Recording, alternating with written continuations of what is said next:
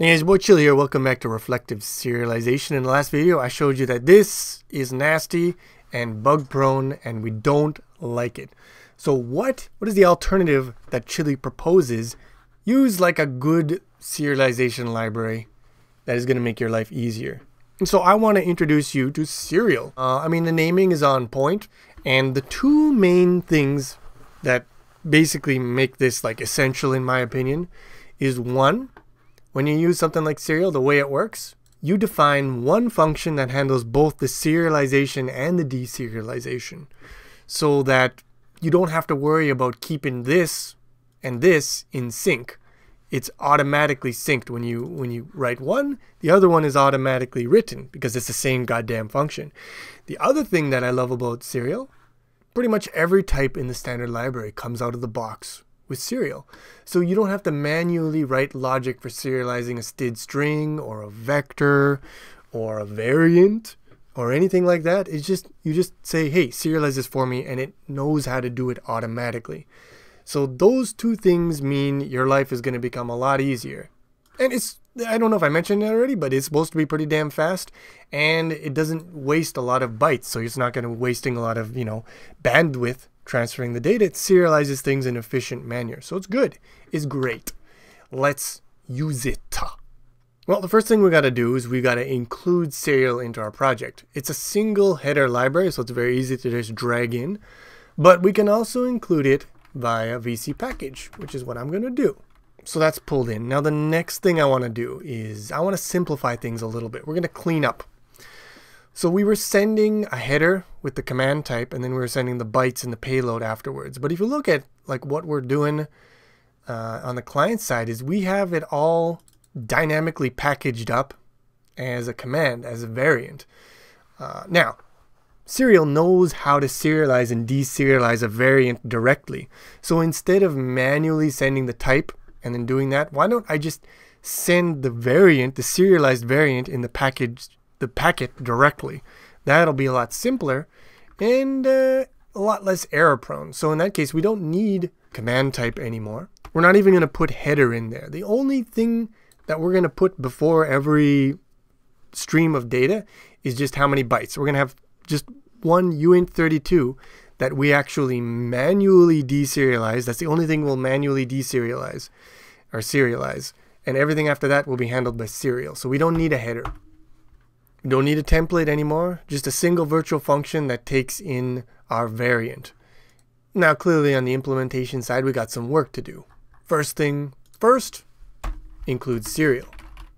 Now the way cereal works is like it out of the box it knows how to serialize all the standard data types uh, std string, std vector, and all the obviously all the basic types like ints and bools and enumerations.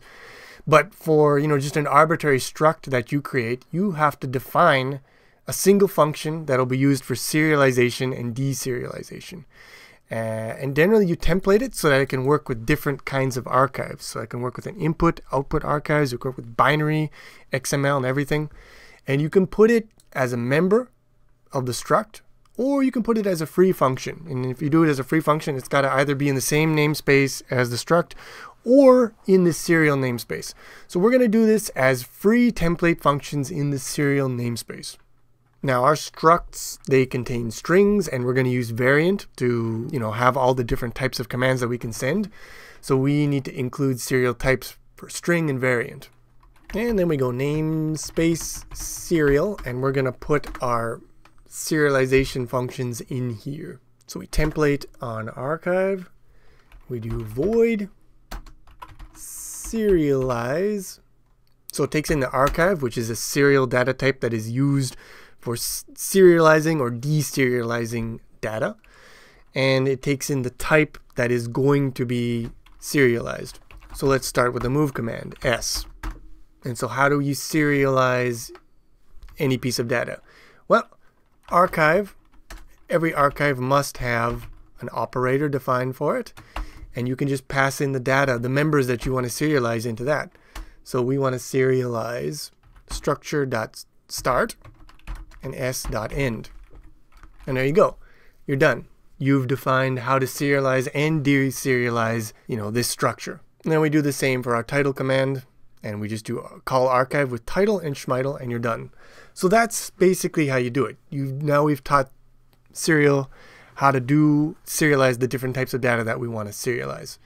So now it knows how to do it, but we actually have to make it do it. So there's the second part of the equation. So let's start with the server because that's where we're going to send our stuff. And we got our send command here. So when you want to serialize something, you create an archive. And an archive has to work with a stream. So you need a byte stream. And the most uh, convenient one for us right now is going to be std o string stream. But I don't know if we included string stream yet. So let's include that like so. And then we go back here. So we create our string stream. Then we create a binary output archive. One of the beautiful things about Cereal is that you can choose and easily switch between I want to serialize this binary versus I want to serialize it as, you know, an XML. I think they have JSON as well. I'm not sure. But anyways, binary is going to be the most efficient one. So we will choose that. And you create your archive. You pass it the stream that it is going to work with seems angry and the reason for that I believe is that we have to include the archive type. So cereal archives binary. So we include binary archive types. And now all we got to do is call archive.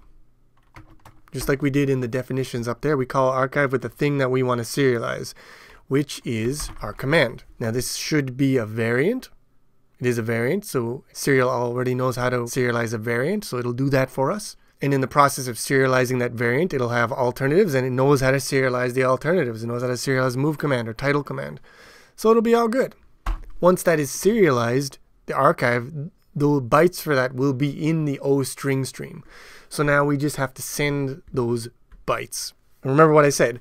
We put we have to put the number of bytes in the beginning of the payload. That'll be a uint32. So we need to get the buffer out of the OSS. So we call OSS.string. And then the size is just 32-bit of buff dot size. And there we go. Now we got to send the size. And then we send the actual bytes themselves. And there you go. Here's our send command. And uh, we will never need to add more code into here. Anytime we, you know, if we add a new command or if we change the contents of the commands, this never changes. And if you're looking at this and you're saying, oh, this seems a little uh, inefficient, you know, we got to send two packets and there's some copying of buffers here. Uh, yeah, that's true. I'm just making it simple for this example here, but in a future video, I'm going to show you how to make this more efficient. So if you're interested in that, you can stay tuned. But anyways, that is the serialization. Now for the deserialization. So the IntelliSense is unhappy about this. Makes sense. Let's get rid of that trash. We're not going to need it.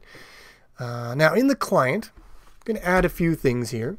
We used string stream for sending, and that works fine. We can use another thing for receiving. Let's, let's use something else. Asio has a stream buff object, which is a resizable buffer you can use for sending and receiving. So we'll call this one our read buff. And so you know that Cereal's archives require a stream. We're not using string stream here.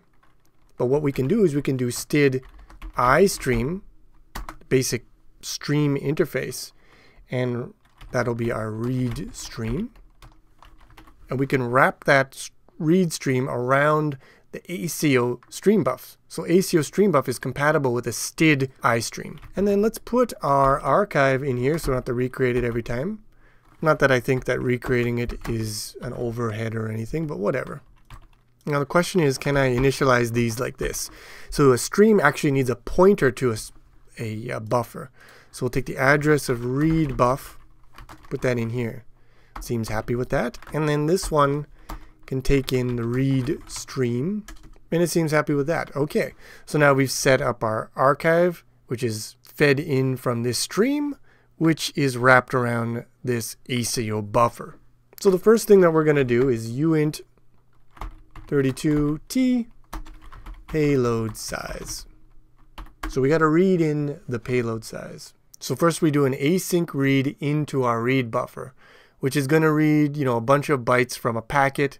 And we need it to read at least, you know, four bytes. It might actually read more than that, but that's a that's another story. Those details are another story. It's more efficient, just trust me. But it'll at least have four bytes in there. So now what we can do is we can do read stream. We can use the stream interface, the same one that the input archive is using, and we can read we can read four bytes into this variable here from the stream.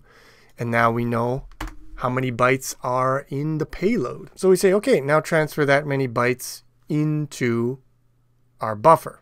Then we're going to put a default constructed command into our vector of read commands. And then we're going to use our archive on that command we just created. And because the archive is tied to the stream and the stream has all the bytes in it, it's going to deserialize all those bytes right into this command. And then Bob's your uncle. You're done we are done deserializing. And just like the other one, this never has to change. If we add more commands or change commands, this always stays the same. Now we did change the interface a little bit. It used to take a template and now it takes in a command, but I think it'll still work because in both cases it was just passing in a command and command can convert to a std variant command like a move command or whatever. Well, it's not doesn't like something, so we gotta we gotta find some so we got one error, which produced a whole bunch of gobbledygook. It's a template, but look, here's where I highlighted. So look here. Hmm. Yeah, it was just IntelliSense completed to the wrong thing. So if I do buffer buff, that should work. All right, here's something. Static assert failed. Cereal could not find any input serialization functions for the provided type. Now we don't quite have enough information here in the summary. We go to the output. We go back here. Blah, blah, blah, blah, blah. And what is it saying? If we click here, mm, so here's where the problem happened. And this is the rare case where this is actually not the line that's going to give you the biggest clue. You actually have to scroll down. And if we scroll down all the way, we see vec2f.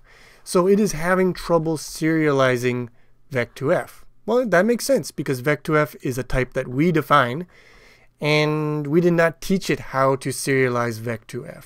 So this is how you do it. Cereal, it's got an X, it's got a Y, and you do your you do your nasty work. All right, moment of truth. First command didn't work. Second command didn't work. Beautiful. Well, I'm just looking at this right now. I didn't even have to debug it because I'm like, what was I doing here?